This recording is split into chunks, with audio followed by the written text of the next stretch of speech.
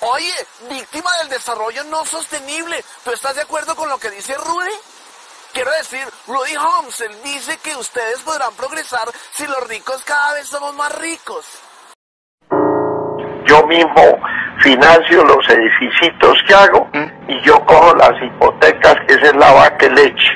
Imagine 15 años un hombrecito pagándome intereses. Eso es una delicia. Pero ese espacio de la moraleja que le queda, que lo único que les queda a ustedes son dos cosas. Primera, que si no reaccionamos, ustedes jóvenes, y asumen el control de su propio país con los elementos que les da la Constitución, por ejemplo el voto, si no hacen uso de eso para bien, cerremos y vámonos.